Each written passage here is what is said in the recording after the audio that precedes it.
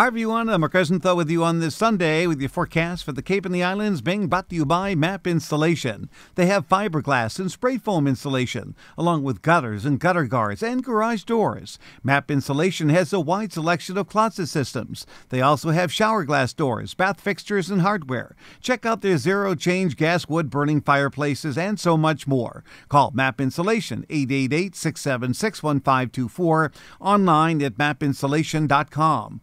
Let's check out the weather headline. Here's the deal. We're talking about clouds today. Could be some very light rain or wet snow showers this afternoon. For today, occasional rain tomorrow. Flooding rain, very strong winds here. Late Christmas Eve and Christmas Day, winds could gust to 70 miles per hour. There could be major league problems, but we have many days to fine tune that. For today, cloudy, maybe some rain or snow showers this afternoon. Temperatures between 34 and 38.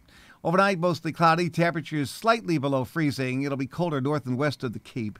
Here's your seven day forecast. Starting with tomorrow, occasional light rain. It'll be 35 to 40, maybe a flurry on Tuesday, sun clouds Wednesday.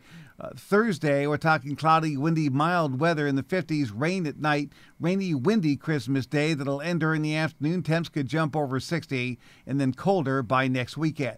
That's my forecast. Thanks for checking in. Please stay tuned for updates. I'm Mark Rosenthal.